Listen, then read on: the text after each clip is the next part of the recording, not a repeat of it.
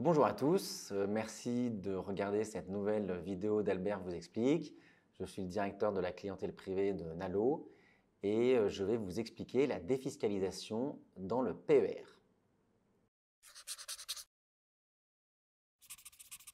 Le plan d'épargne retraite, autrement appelé PER depuis la loi PAC de 2019, vous permet de verser une partie de votre épargne et de défiscaliser vos revenus professionnels. Pour le dire plus simplement, cela vous permet de réduire votre imposition sur le revenu. Et en ouvrant un PER chez Nalo avant le 16 novembre 2022, vous pourrez donc défiscaliser et payer moins d'impôts sur vos revenus professionnels 2022. Il faut savoir que les calculs d'économie d'impôts dépendent de plusieurs paramètres comme par exemple votre taux marginal d'imposition, euh, votre euh, nombre d'enfants à charge ou encore vos revenus nets professionnels. Pas de panique, euh, Nalo s'occupe de tout, on vous pose simplement quelques questions et on vous donne les différents chiffres qui doivent être portés à votre connaissance. Et surtout, vous avez accès très facilement à des conseillers privés spécialisés sur le sujet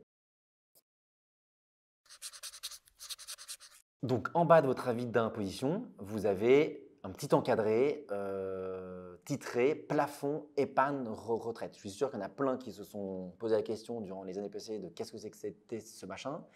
Et eh bien justement, ça va vous servir pour ouvrir un PER chez Nalo. Donc vous pouvez lire plafond non utilisé pour les revenus de 2019, 2020, 2021. Pourquoi? Parce que la loi permet de rattraper ce que vous n'auriez pas fait sur les trois années passées. Alors évidemment, l'année prochaine, il n'y aura plus le 2019, il y aura 2020, 2021, 2022. Donc la somme que vous, pouvez lire représente donc le maximum à verser et qui rentre dans le cadre de la défiscalisation. Warning, euh, ce maximum comprend ce que vous pouvez verser dans un PER individuel, dans un PER collectif que vous auriez par votre entreprise et dans un PER obligatoire que vous auriez aussi par votre entreprise. Donc juste faire attention, à ce que vous avez versé peut-être euh, par ailleurs. Donc je vous donne un exemple. Euh, vous, êtes, vous avez gagné 50 000 euros net de revenus professionnels.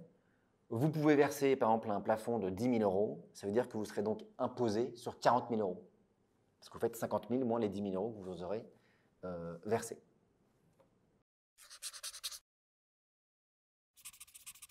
Vous l'avez compris, vous pouvez faire de belles économies d'impôts en souscrivant dans un PER chez Nalo. Ne pas oublier quand même que l'objectif ultime, c'est de préparer votre retraite sereinement.